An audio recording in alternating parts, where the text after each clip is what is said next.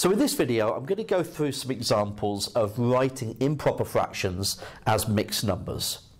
So in our first example, we have 31 over 6.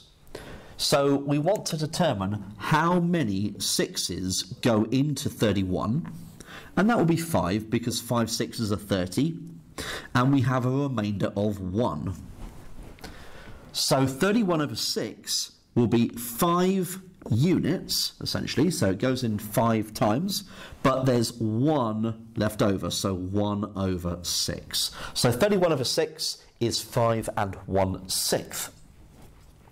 17 over 5, well, again, we're going to look at how many 5s go into 17, and that'd be 3, because 3 5s are 15, and so there's a remainder of 2.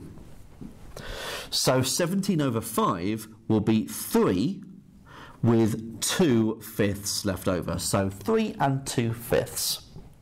And the last one, 91 over 11.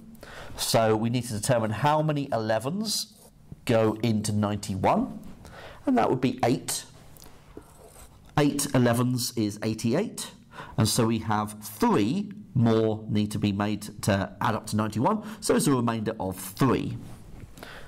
So 91 over 11 is 8 and 3 elevenths.